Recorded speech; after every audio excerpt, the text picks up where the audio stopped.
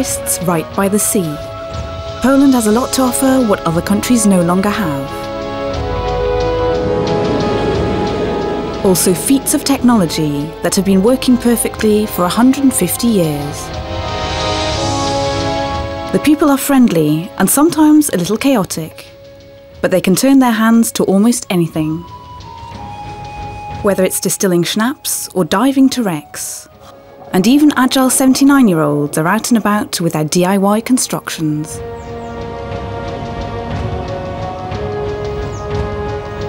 The journey begins at Poland's border to Russia. It takes us across Elbląg to Gdansk, then on to Hel Peninsula, and ends in the Hanseatic city Szczecin.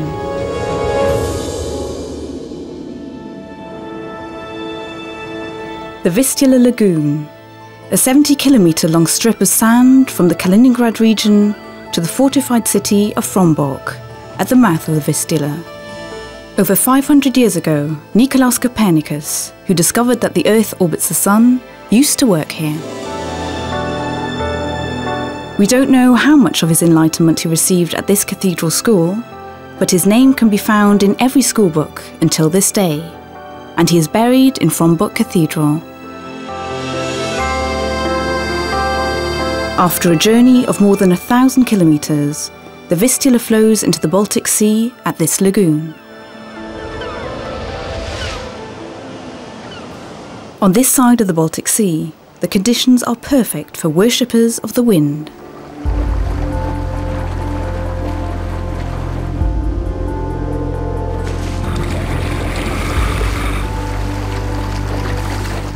Karolina Winkowska has outdone her competitors in the windiest regions of the world, but she still prefers to chase the wind in her homeland. Karolina is vice world champion in the freestyle competition and at a wind force of six, her fun at sea is only beginning.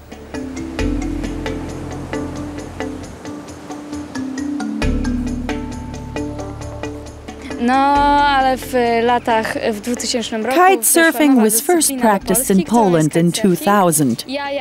Back then, I was still a little girl and very curious. I tried it and was hooked immediately.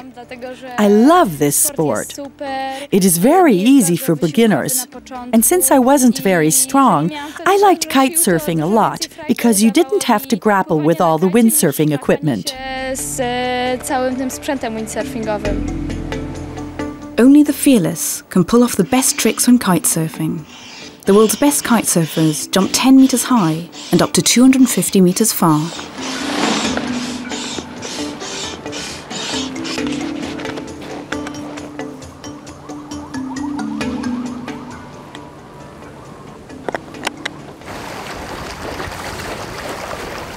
Life without the sea is simply unimaginable to Karolina.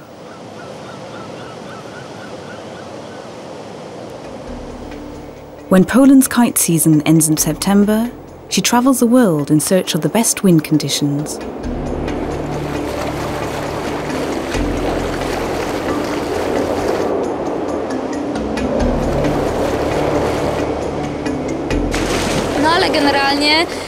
The most important thing, though, is the warmth. In other words, the summer and the wind. Just like the earth turns, we kite surfers move from place to place.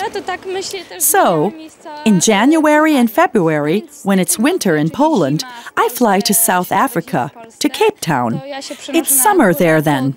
I follow the summer and the wind all over the world.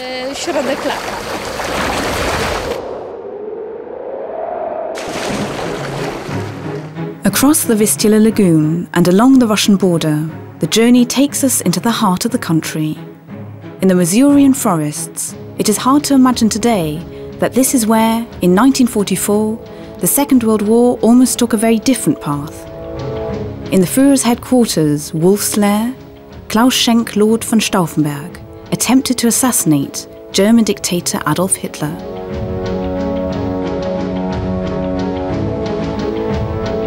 Poland is known the world over for its horses, both bred and wild ones. These young Konik stallions are fighting over the leadership of the herd.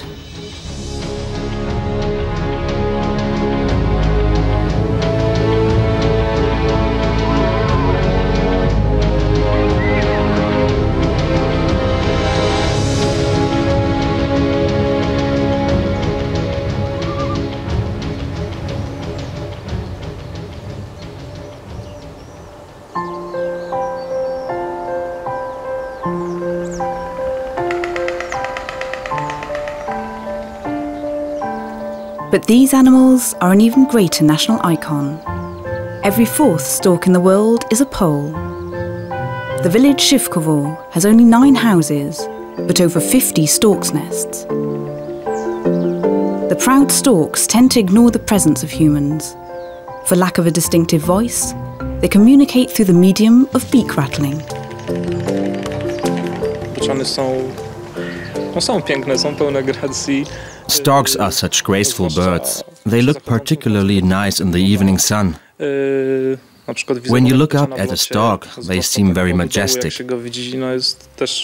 Storks certainly don't have to dread the comparison with other birds of prey like the eagle. Piotr Ichko is an obliging host. The ornithologist builds new nests for the birds each year. After all, they're supposed to come back again. The stork season starts in March and lasts until August. It is very impressive. It begins with the battle for nests in the spring. The couples take turns brooding the eggs. Before the offspring leaves the nest, you can witness amazing scenes where they fight over the food that their parents bring them.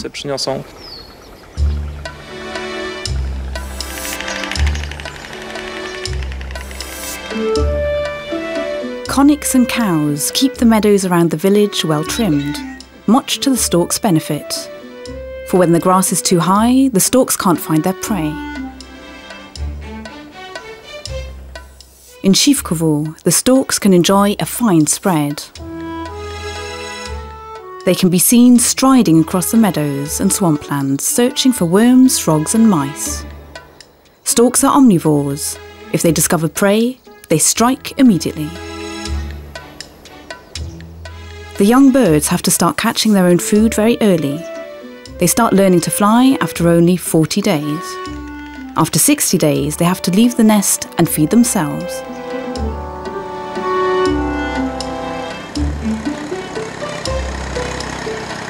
Piotr runs a large farm. In summer, he's on the go almost around the clock. Not only his cattle and horses, but also his feathered guests up on the roof need to be fed. I have to climb up onto the roof now and again to do little repairs to the nests. I help the storks with their nest building by putting up a platform for them as a solid base. That makes it easier for the storks. Ma łatwiejszy start, że tak powiem, w budowie swojego domu.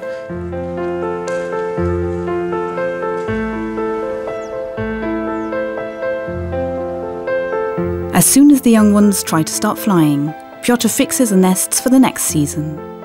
One of them may weigh up to one ton.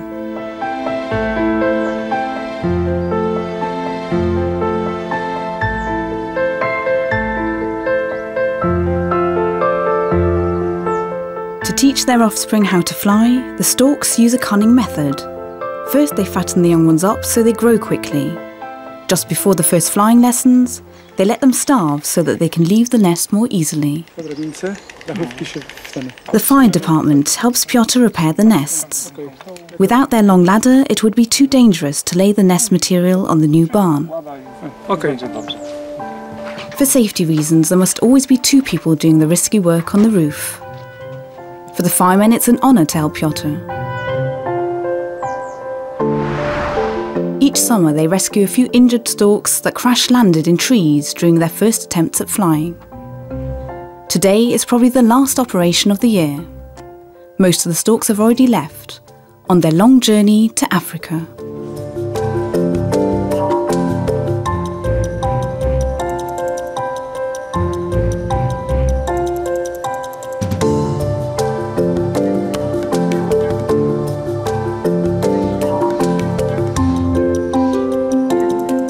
Podziwiam je za to, że, że są na tyle odważne, żeby przylecieć. I admire them for being so brave and for flying thousands of kilometers just to spend the winter in the south. But it's definitely warmer for them in the south. Nie tyle zazdroszczę, co podziwiam je za to. I certainly don't envy them when I think about how much they have to endure on the trip. One muszą znieść przy przelotach, no to tak szczerze mówiąc średnio im zazdroszczę. Soon Piotr will be alone again.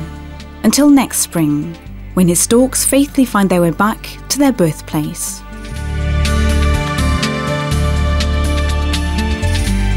From Szywkowo, the journey continues to Elbląg.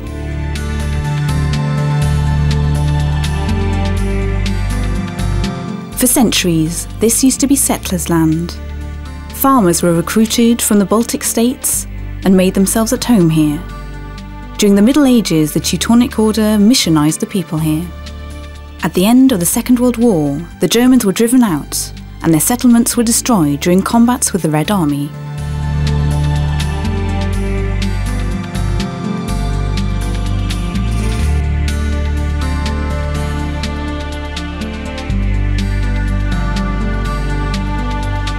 The Elbląg-Ostróda Canal was left unscathed by the war. It connects Ostróda and Elbląg over a stretch of 82 kilometres. It is not the length, though, that is remarkable, but the height difference that must be overcome along the way.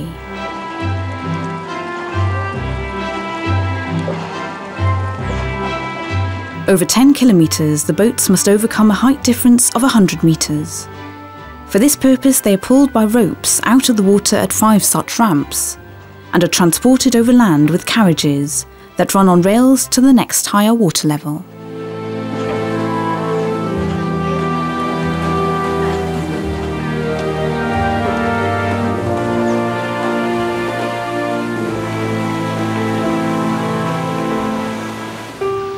Eva Stanczyk is lockkeeper at the ramp Oleśnica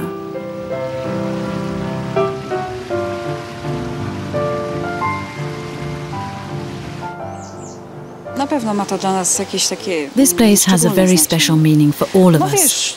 My father and even my grandfather already lived here. I was not only born here, I also grew up here. My husband moved here as well because he works with us. And so our daughter was born here too. Eva and her husband share the shifts at Oleśnica. In the morning, most boats sail down the canal from Elbląg and return in the afternoon. The canal was built in order to connect Elbląg and Ostróda. It served as a transportation route for grain and also wood. It's the connection between Masuria and the Baltic Sea.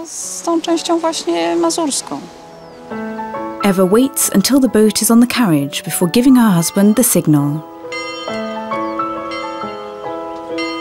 He sets the towing ropes in motion. The machinery from the industrial age runs on water power and seems to be indestructible.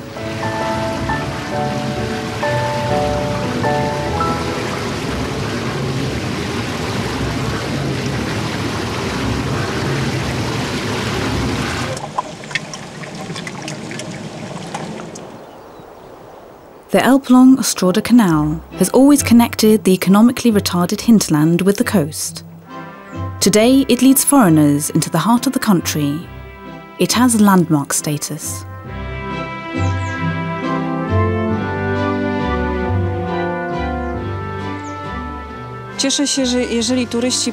I like it when the tourists say hello. It fascinates me that people are so different. Some kid around and tell jokes. Many smile and are in a good mood because they're enjoying their holidays.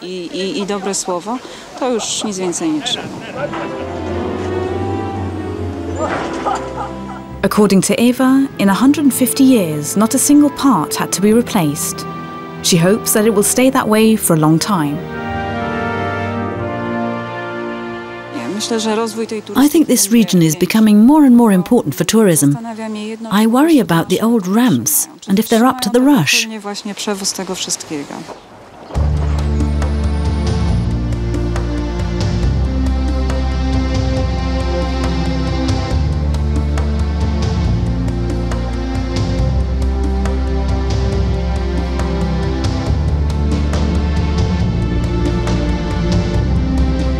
From Elbląg, the route continues to Gdansk.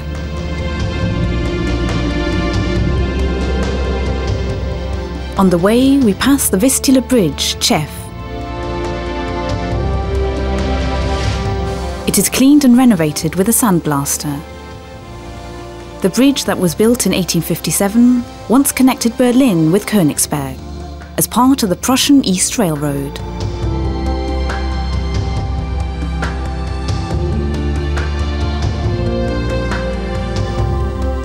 During the Second World War, Gdansk was destroyed.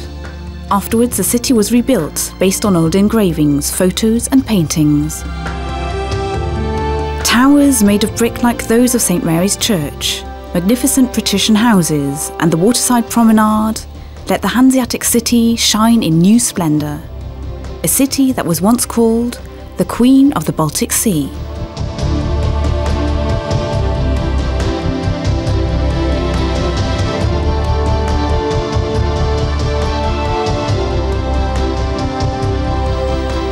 The City Hall, the court of Arthur and Neptune's fountain, hark back to the city's former trading days.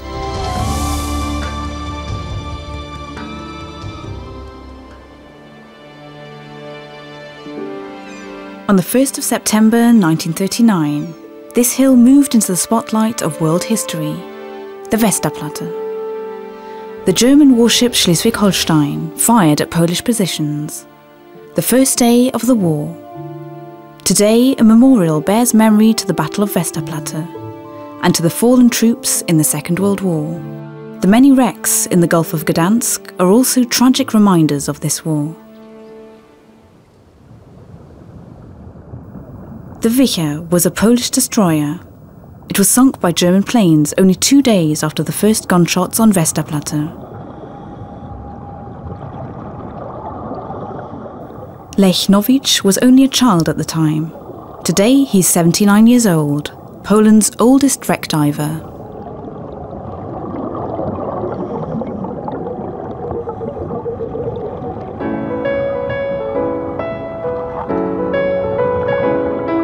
Already as a child, diving images from England fascinated him so much that he made his first pair of diving goggles out of an old lunchbox.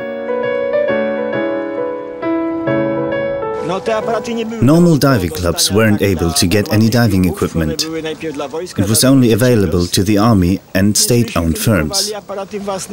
So we had to make our own gear. I still have the equipment I made myself. We used to go diving with these things in the beginning.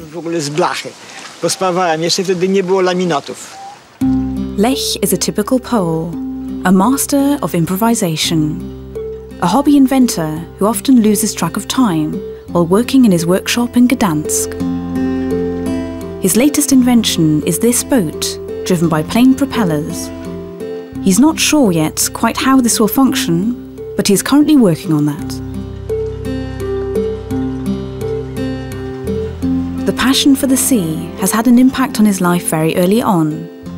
For 30 years, Lech worked as an underwater archaeologist in Gdansk.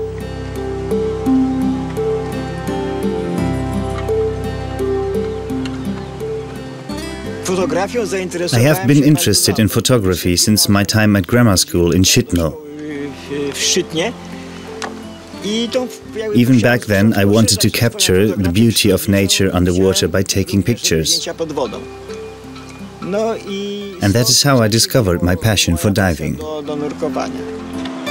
During the socialist era in Poland, film equipment was difficult to come by, even for his work. Lech kept building the devices himself.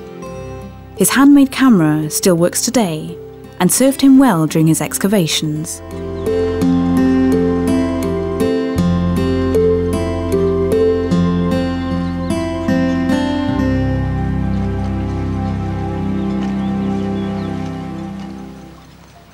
As long as his health allows, Lech Nowicz would still go diving.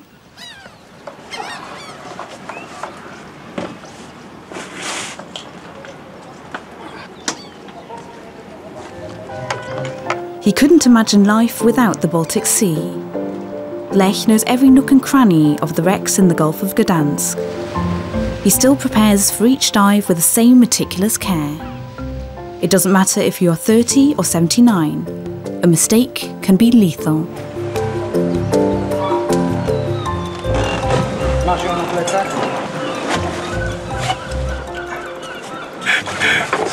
Okej, wszystko ok? Ja cię trzymam. Okej, okay,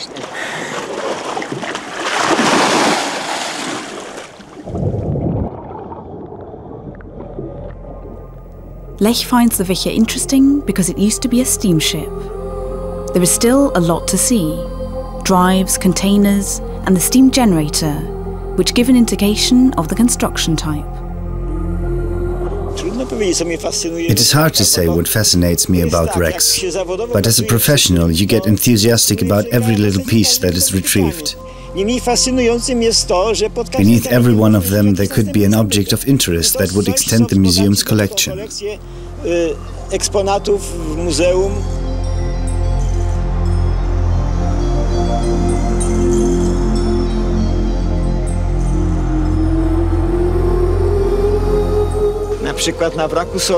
Once I dived to the wreck of the Solin to retrieve stones. While down there, I suddenly realized that I wasn't holding a stone in my hand. It was much too light for a stone. And indeed, when I pulled it out, I saw that it was a skull. I almost felt as though I had disturbed someone's eternal rest there. I felt very queasy at that moment.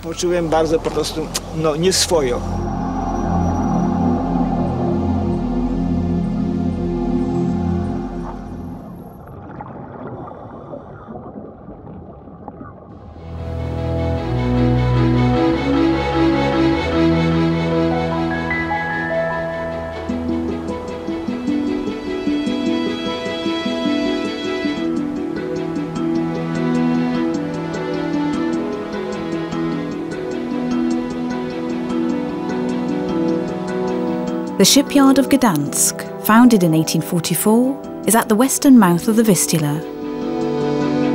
In the summer of 1980, the shipyard became internationally known thanks to the founding of the Solidarność Union, which initiated strikes all across Poland. Until today, the shipyard is considered the birthplace of democratic Poland.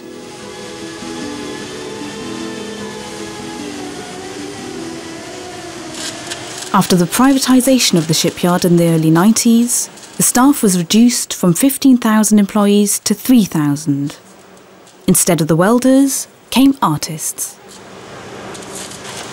From 2001, they were allowed to set up their studios on the shipyard grounds. One of these artists is photographer Michał Szlaga. I've been on this shipyard for 10 years now. During this time, my skills as a photographer have steadily increased. When I had a better feeling for the place, I began taking pictures of the people. It was important to me that the workers looked as honorable as possible. I am always on the lookout for interesting faces.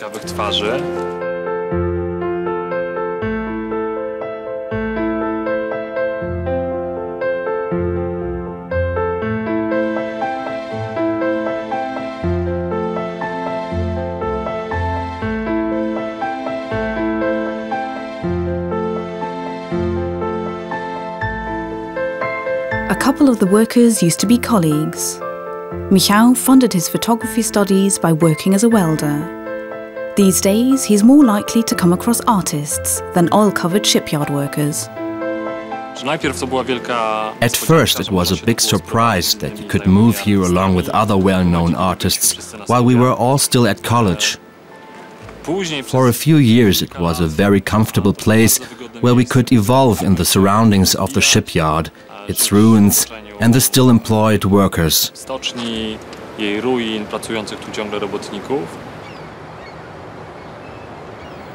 The shipyard changes its face almost daily. Building ships brings almost no money anymore. Investors want to build a shopping centre on the premises.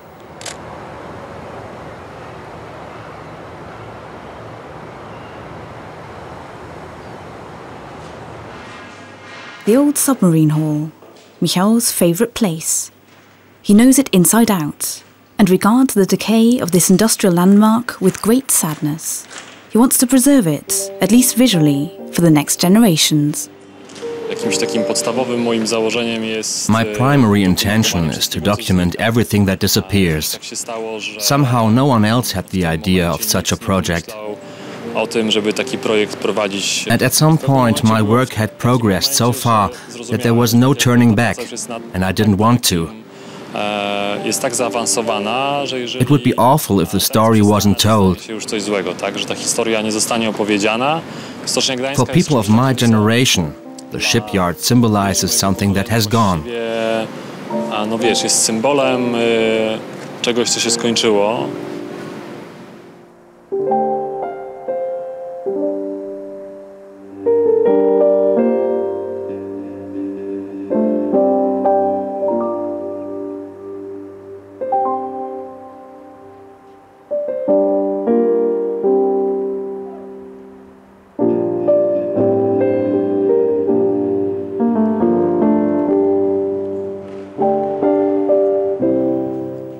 Michał Szlaga made a name for himself way beyond Gdansk.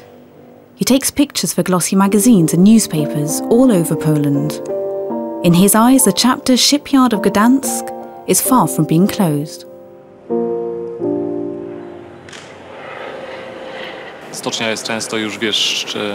Work at the shipyard is often very exhausting, but I love it.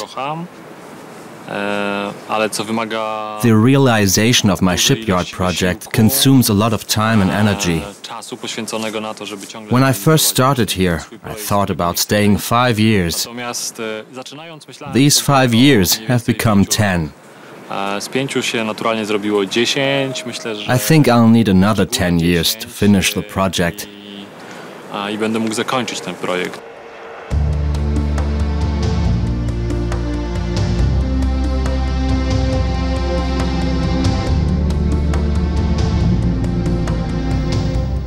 From Gdansk, we travel across the Hel Peninsula to Łeba.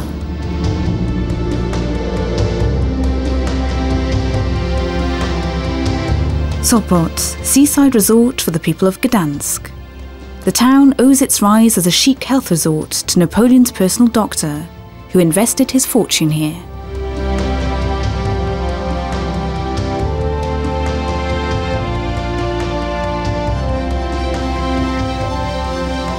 The southern tip of the Hel Peninsula juts out 35 kilometres into the Baltic Sea and forms a boundary between the Gulf of Gdansk and the open sea. The Seagull Reef is a sandbank that stretches for several kilometres and is a select breeding ground for cormorants.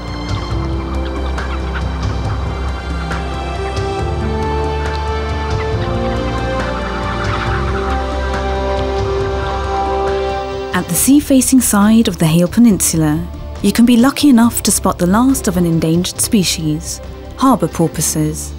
The oceanographer Krzysztof Skóra tries to understand their language and analyses their behaviour with modern recording devices. In the eastern Baltic Sea, there are only 100 harbour porpoises left. Each year, more animals die than are born. For Krzysztof Skóra, they are fascinating animals that should be protected. The shape of harbor porpoises is perfect. When you touch one, you can see nature's perfection. Its body is perfect for the water.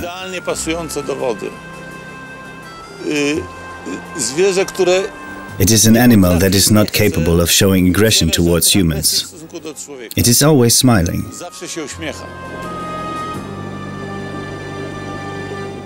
It is calm and silent. You could say it is the gentleman of the Baltic Sea.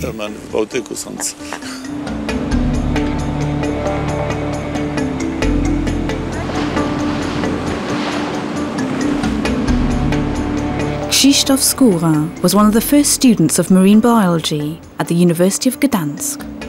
Today he teaches the subject. He wants to convey to his students a connection to nature and animals. He felt this connection already as a child.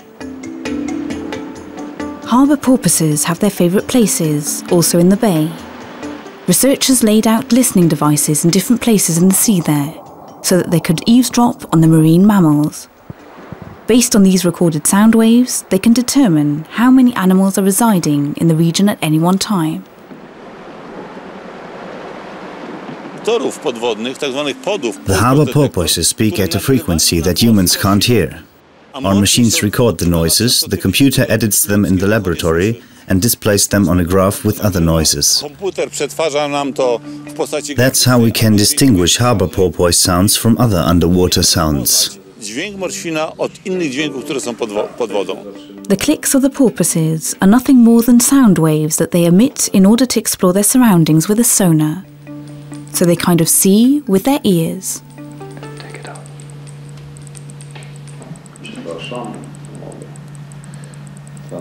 Their biggest enemy is the fishing industry. Harbour porpoises have a remarkably good sense of location, so the researchers can't explain why they can't identify fish nets as something dangerous.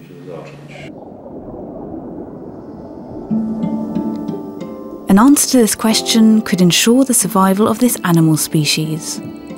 Porpoises are mammals. They breathe like humans do and have to come up to the water's surface for air. When they get caught in the net, they suffocate underwater.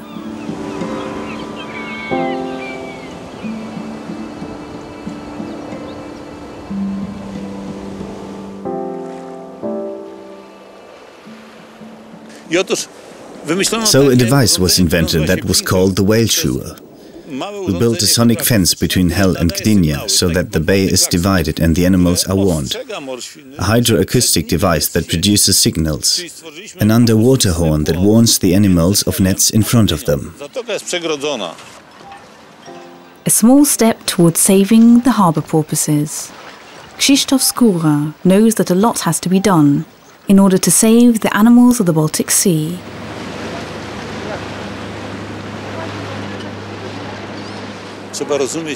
You have to understand how the ecosystem works. If we don't grasp that quickly enough, we will lose the sea. The Baltic Sea doesn't only have to be clean, but also fertile. Fertile for humans and every animal that lives here. Harbor porpoises, birds and fish. Krzysztof constantly starts new projects to protect nature and increase the populations of endangered species.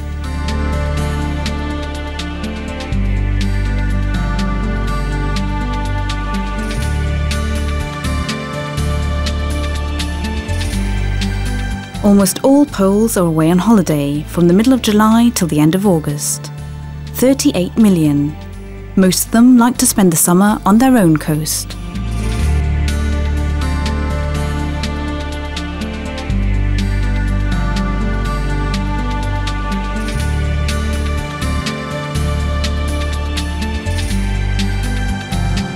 In the heavily vegetated forest, Stilo Lighthouse sits enthroned. Almost a thousand metres away from the coast of the Baltic Sea. Veronika Wojcicka has worked here for the past 20 years. A shift is 12 hours long, and she earns 470 euros a month. Even today, she can't get enough of looking at the ships and the Baltic coast. The lighthouse is always a bit different depending on which season it is. Just like a person changes, so does a lighthouse. I think I can compare the lighthouse to myself. It's big and shines from the inside out.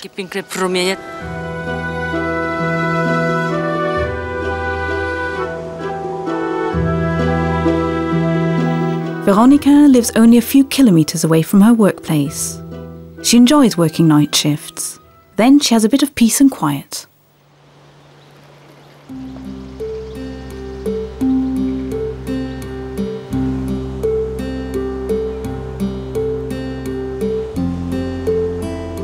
My father in law and my husband decided that the family tradition should be carried on. They wanted me to work here as well.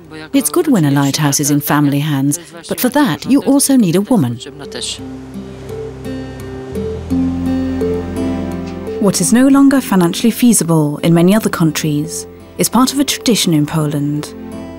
Along the entire coast, each lighthouse has its own keeper.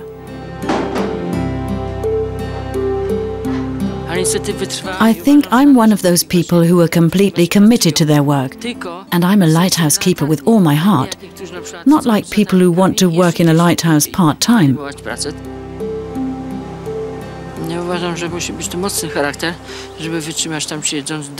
You have to have a strong character if you want to endure more than two days here. You have to be capable of withdrawing from people and your own problems.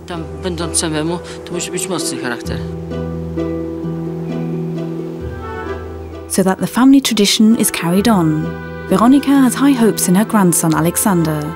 He already knows what he wants to be one day a lighthouse keeper just like his grandmother. I am very proud that my grandson wants to follow in my footsteps as lighthouse keeper here, and that Alexander will carry on the family tradition.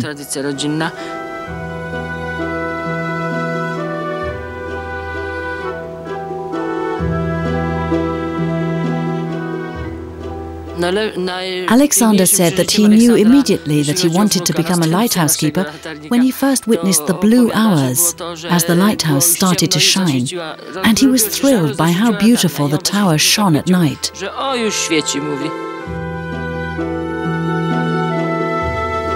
Only few can enjoy this experience.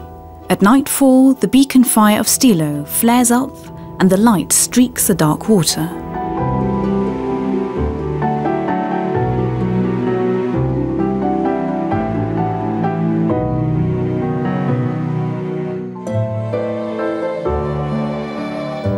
Then the forests wake up to their second life.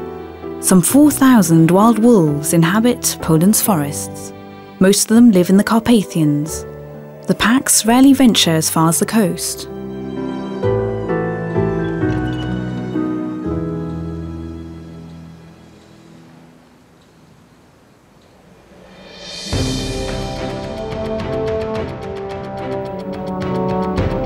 From Łeba, we go via Ustka to Rusowo.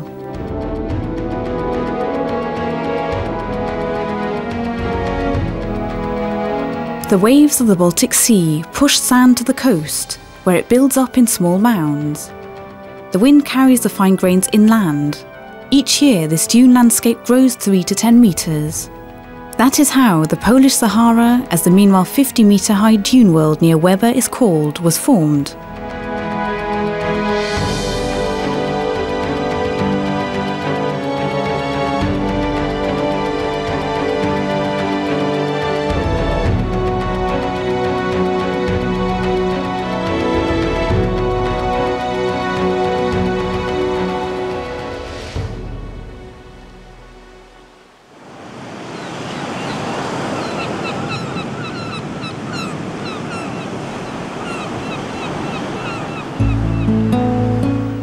Natasha Caban accomplished something of which others can only dream and would never even dare attempt. When she was 30 years old, she got in her sailing boat and took off all by herself. She sailed all around the world. For me, the Baltic Sea has its own and specific smell and taste. I looked for it on the Indian Ocean and the Pacific but I found it nowhere else. That is why I always have to come back and dip my feet into the Baltic Sea. My lonely journey around the globe took over two years.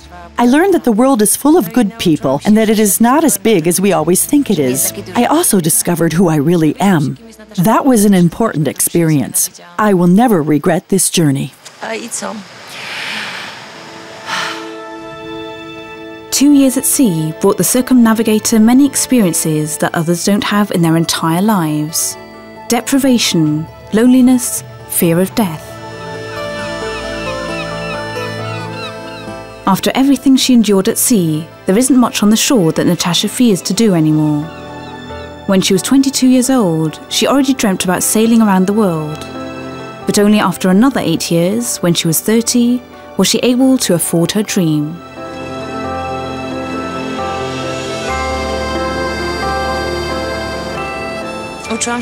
I learned from the best. I knew that if I was alone on the ocean, I needed to be able to help myself. And I tried to live with the fear. Today I know that you can do much more than you think you can. Natasha's big sister taught her how to sail. At first on a lake near Łeba. That was less dangerous. But the open sea interested her more.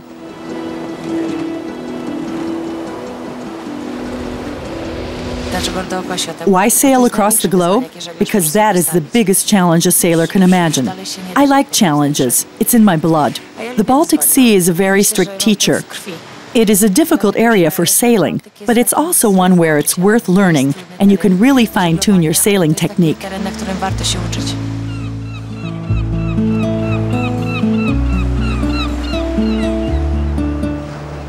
Natasha wants to help children develop a dream and give them the courage to realize it. Just like she once had a dream and worked on realizing it year by year.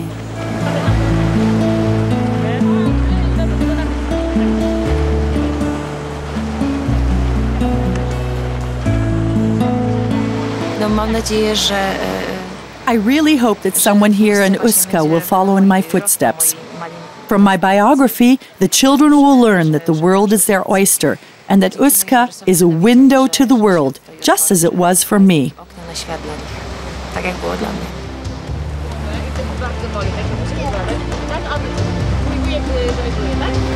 Natasha is a woman full of longing. Faraway shores are as big an attraction to her as her local beach. She has the Baltic Sea to thank for that, where she had the time to find her way as a child year after year.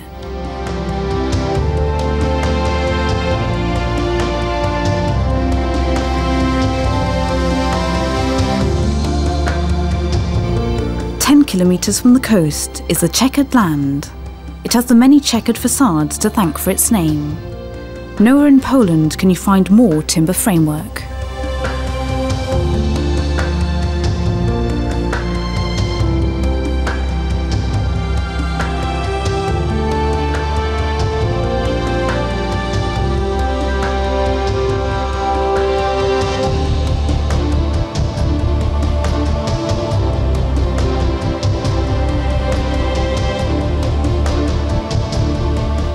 Not far from the coast in Rusowo is an old farm which Anna Britzen and her German husband bought in 2001.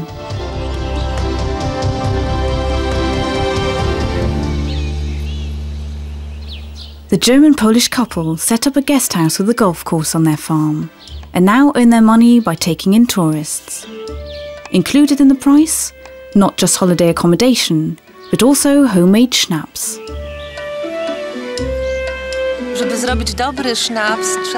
To make good schnapps, you need lots of time, and it is a lot of work. You have to put your heart in it. When I distill schnapps and liqueur, I put a lot of love and care into it. I want it to be tasty and good. It's supposed to be a treat for the people.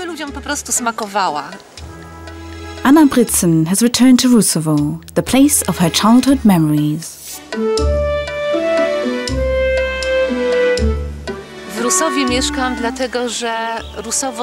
I live in Rusowo because I associate my nicest summer holidays with this place.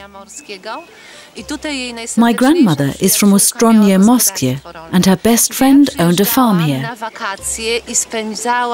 Each year I came here for my summer break and spent a wonderful month in the countryside with milk from the farm and fresh eggs. I returned here for sentimental reasons. Anna is from East Poland. For many years, she and her husband lived in Germany. After their return, they had to acclimatise again to life in the country. Out of season, the couple doesn't have many guests, and so they are not very busy with the guest house. They needed a hobby. In the beginning, I had no idea how to do it. That's not surprising, from life in the city to the complete opposite life in the country. And we had so much fruit apples, plums. We didn't know what to do with all of it. So my husband Volker simply started distilling it.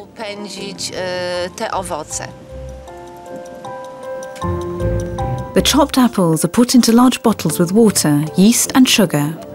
After a few weeks you have mash, a basic element for distilling schnapps.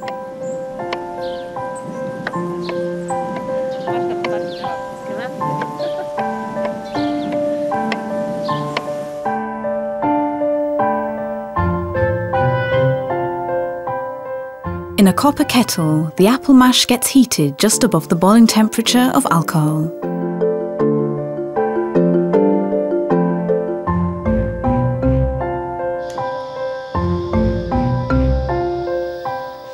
steam rises up.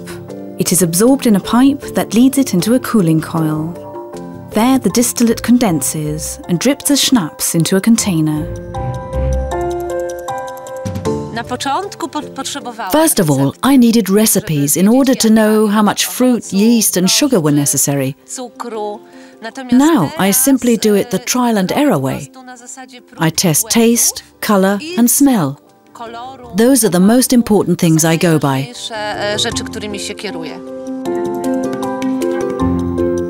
The Poles normally drink five and a half litres of schnapps each year. That is the European average. Anna Britzen's special schnapps would probably even increase the schnapps consumption in Europe if everybody knew about it.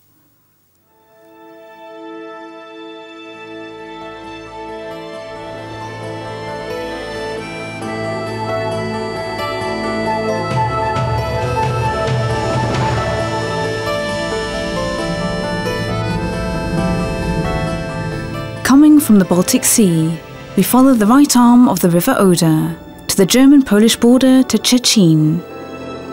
After the end of socialism in Poland, the city presented itself as a young metropolis. Out of 400,000 citizens, every seventh is a student. The castle of the Pomeranian dukes is the city's historic core, and also its cultural centre with opera and theatre.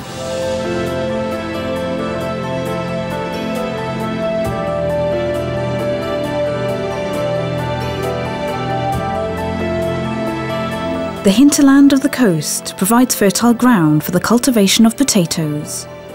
Most potatoes on the European market come from Pomerania.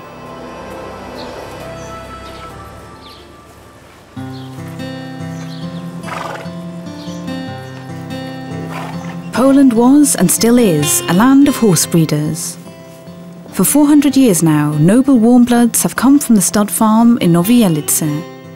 For two generations, it has been run by one family, the Bobiks.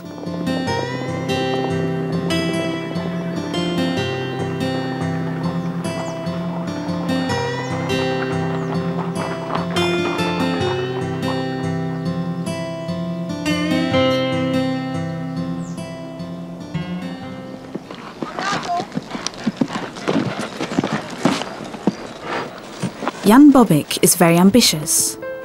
He wants to follow in his father's footsteps and also become a successful breeder and show jumper. Jan is already well on the way to becoming Polish champion. I first started riding in my summer holidays 12 years ago. I was seven years old back then, when a friend came to visit us. I was very jealous because my father coached him. One day my father set me on the back of a horse and saw that it worked quite well.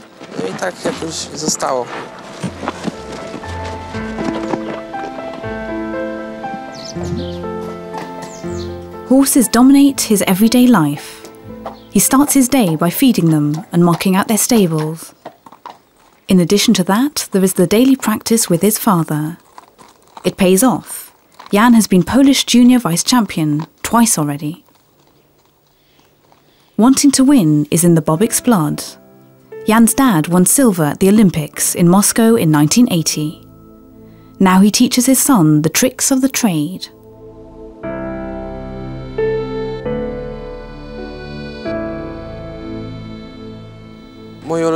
My favorite horse is called Chara and is 16 years old.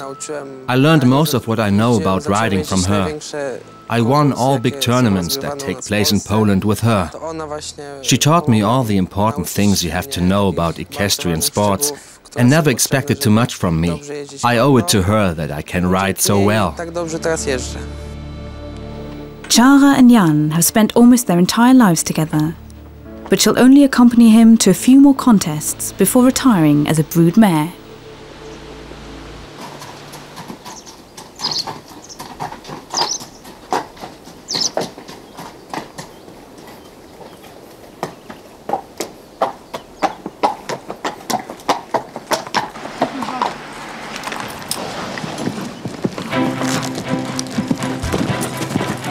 The Bobik's horses are Hanoverians. They are known as good show jumpers. Jan's grandfather brought the Hanoverians to the stud farm in the 50s. Back then, it was still a public enterprise.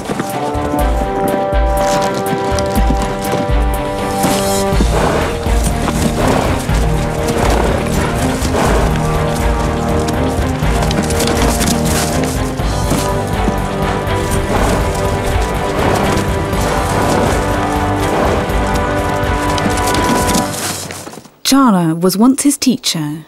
Now Jan is ready to go it alone. My goals are the biggest horse shows. I want to win the Olympics and the World and European Championships.